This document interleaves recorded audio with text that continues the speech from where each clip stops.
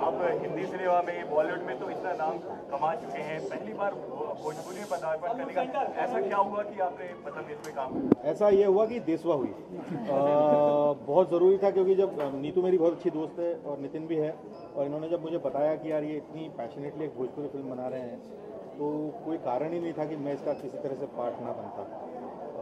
मैंने गाना लिखने की भी कोशिश की भोजपुरी में जो रिजेक्ट हो गया। लेकिन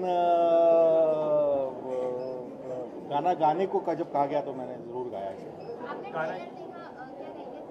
ट्रेलर कमाल का ट्रेलर आपने देखा? तो आप गाना याद है आपको जो है वो थोड़ा सा मनवा के मानी के सपनवा के मानी सुनिला के चार दिन की बाट जिंदगानी।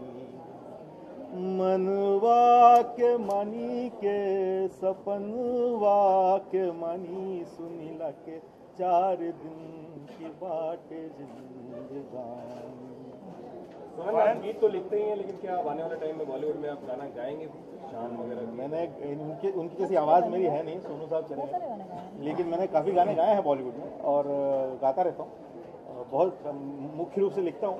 गाने का काम थोड़ा बाद में आता है लेकिन जब भी कभी ऐसा होता है कि मेरे लायक कोई गाना होता है मैं ज़रूर गाता हूँ। तो आनंद एक्टिंग में आ रहे हैं आप? हाँ जी मैं एक्टिंग में उसके बारे में कुछ बताइए। ये कबीर कौशिक साहब की फ़िल्म है मैक्सिमम सोनू सूद है नसरुद्दीन शाह साहब है। उसमें एक रोल कर रहा हूँ जो अभी तक मैंने रोल छोटे छोटे किए थे उनमें सबसे बड़ा रोल है ये। तो